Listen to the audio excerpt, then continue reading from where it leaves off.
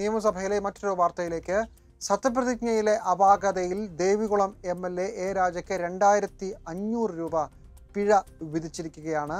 ദൈവനാമത്തിലോ ദൃഢപ്രതിജ്ഞയോ ഇത് രണ്ടും ചെയ്യാതെ എ രാജ് സത്യപ്രതിജ്ഞ ചെയ്തു എന്നുള്ളതായിരുന്നു ക്രമപ്രശ്നമായി ഉന്നയിക്കപ്പെട്ടത്. കിഷോർ കുമാർ ചേരുകയാണ്. കിഷോർ കൂടുതൽ വിവരങ്ങൾ.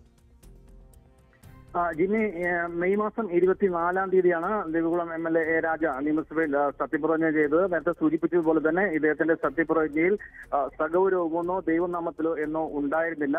തുടർന്ന് ഈ സത്യപ്രതിജ്ഞ ക്രമപ്രകാരമല്ല എന്നുള്ള ആക്ഷേപം ഉയർന്നു.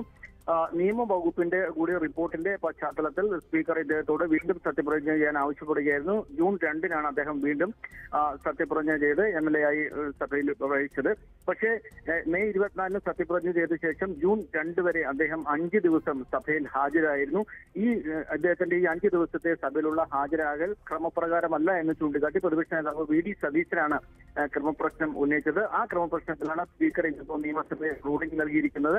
മെയ് ഇരുപത്തിനാല് മുതൽ ജൂൺ രണ്ട് വരെ ക്രമപ്രകാരമായി അദ്ദേഹം സത്യപ്രതിജ്ഞ ചെയ്ത ആ, വരെയുള്ള അഞ്ച് ദിവസത്തെ കാലാവധിക്ക് പ്രതി ദിവസം അഞ്ഞൂറ് രൂപ വീതം രണ്ടായിരത്തി അഞ്ഞൂറ് രൂപ പിഴ അടക്കണമെന്നാണ് സ്പീക്കർ ഉള്ളിൽ നൽകിയിരിക്കുന്നത് ഇതോടൊപ്പം തന്നെ പ്രതിപക്ഷ നേതാവ് വി ഡി സതീശൻ ആവശ്യപ്പെട്ടിരുന്നത് സ്പീക്കർ തെരഞ്ഞെടുപ്പിൽ ഇദ്ദേഹം വോട്ട് ചെയ്തത് അസാധുവായി പ്രഖ്യാപിക്കണമെന്നായിരുന്നു എന്നാൽ ചട്ടങ്ങളും കീഴ്വഴക്കങ്ങളും അതുപോലെ തന്നെ വിവിധ കോടതികളിലെ വിധി കൂടി പരിശോധിച്ച സാഹചര്യത്തിൽ സ്പീക്കർ തെരഞ്ഞെടുപ്പിലെ വോട്ടെടുപ്പ് അസാധുവാക്കി പ്രഖ്യാപിക്കാനാകില്ല എന്നും ശരി. Speaker N D Rajesh ruling നൽകിയിരിക്കുന്നു. ശരി കിഷോർ കുമാർ.